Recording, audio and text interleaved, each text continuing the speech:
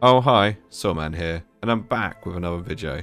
And today I want to show you how you can wield and use this legendary weapon. So legendary is this weapon, there's a big heckin' statue behind dedicated to this ancient spear. Not only that, but it has a unique ability called the Ancient Lightning Spear, where basically you throw a bolt of lightning at your enemies. So if you really want a cool weapon, I highly suggest the Bolt of Gransax, which is what we'll be looking at today. The key thing to remember with this is that it actually scales of strength and dexterity. So although you are chucking lightning at people, it's not an intelligent weapon. The lightning special attack ability does have a high FP consumption. However, there are talismans you can put on to try and reduce that, and there's also armor you can put on to increase your actual mind. So a couple of things I've done to improve the build. So first of all, I'm wearing the navy hood. Now, this might seem like a stupid thing to do, but if you actually have a look at the statistics, it actually increases your mind. And I know it's not like a huge difference, like it's only plus one, but do you know what? Every little helps, right? In theory, I could take this off and actually wear the old Okina mask, because this will give you a lot more dexterity. But honestly, it's uh, it's up to you. It depends which one you're low on, I guess.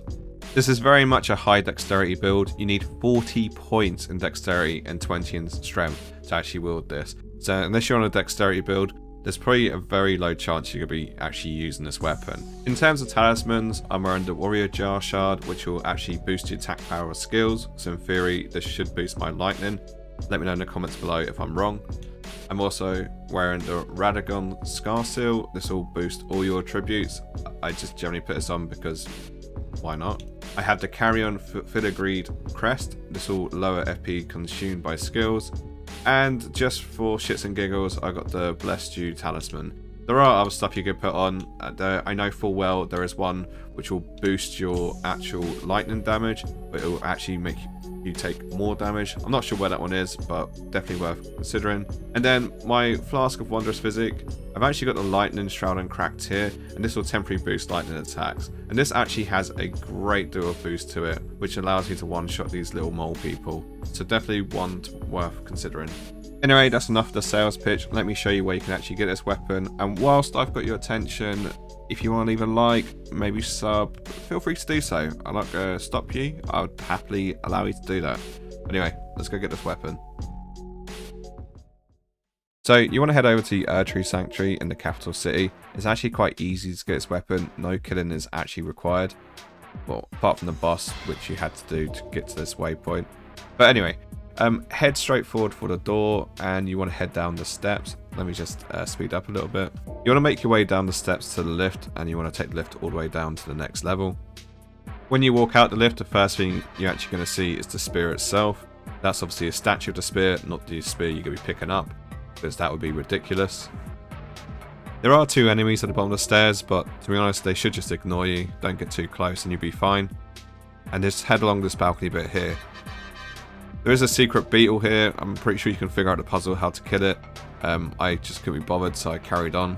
And there you go. We're looking over at the spear again. And the reason for that is because the actual weapon itself is on the spear.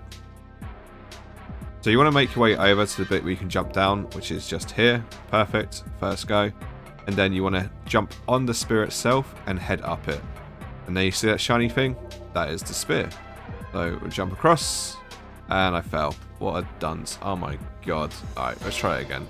Uh. After casually brushing myself up and trying again, I'm just going to jump on the spear. Don't worry about full damage. As you can see, I am absolutely fine. And just carefully make your way up the spear. Try not to fall off, because then you'll look stupid. As you can see, we make our way up. Uh, jump over this little bit. And boom, we have it. The Bolt of Gransax. That is now mine. And that, ladies and gentlemen, is how you get the spear and my general setup to use the spear.